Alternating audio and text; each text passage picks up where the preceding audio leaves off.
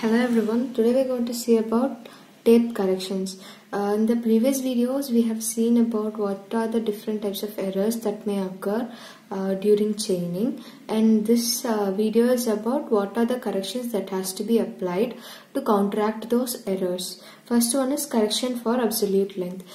We already know that if the actual length is greater than or lesser than the designated length, there occurs an error. It can be positive or negative uh, depending upon the type of the condition present there.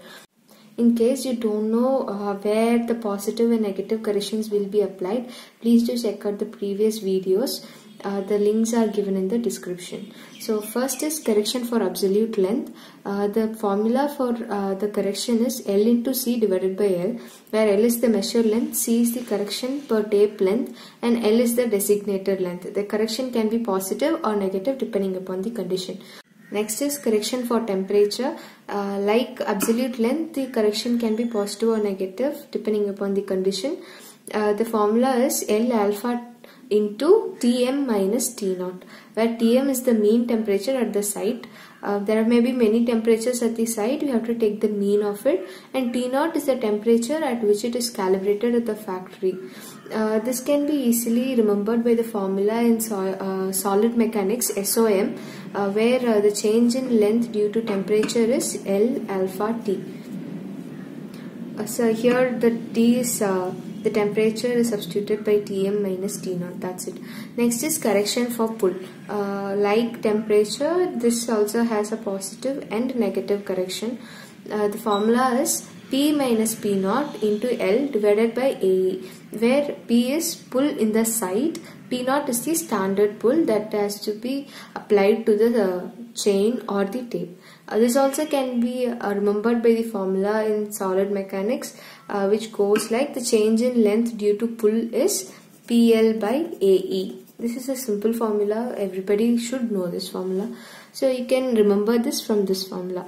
The next is correction for sag and the correction for sag is always negative. The error is always positive so the correction has to be always negative. So the formula is W square L divided by 24 p square into n where w is weight of one chain length. Uh, the unit uh, you have to remember this very uh, this is very important to remember. The unit of w is going to be kg or kilonewton or something in newtons and uh, where P is pull and P is also going to be in the same unit as that of W kg or kilonewton. And n is the number of bays or number of equal lengths. And L is the uh, length of the the distance measured so uh, in case you are not given the weight of the chain in kg or kilonewton instead you have give uh, you, uh, you have been given the weight in newton per meter or kilonewton per meter. In that case you have to bring the uh, weight uh, to this unit. The kilonewton per meter has to be brought to this unit. So for that you have to multiply kilonewton per meter into the required distance. Only then this formula is applicable. This is capital W not small w. So capital W's unit is going to be kilonewton or kg.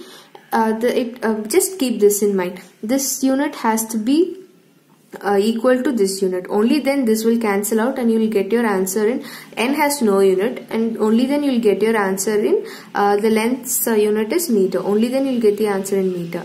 So uh, the correction has to be in meters.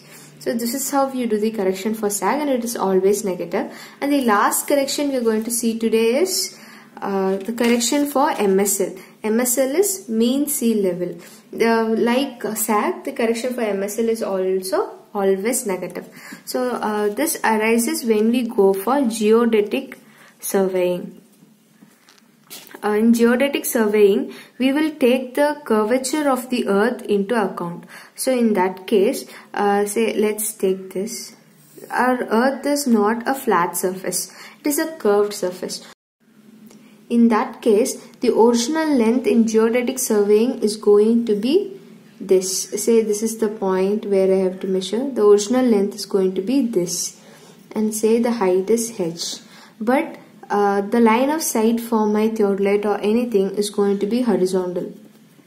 but the answer that we will get is going to be uh, the original height plus x because our line of sight will coincide only with the height corresponding to x.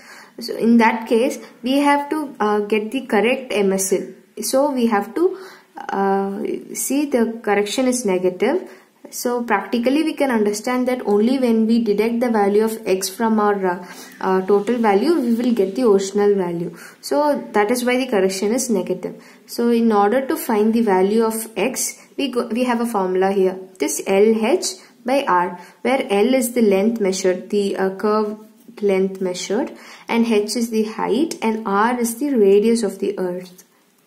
Radius of the earth. So this is how you do corrections for the tape. Thank you so much for watching. See you guys.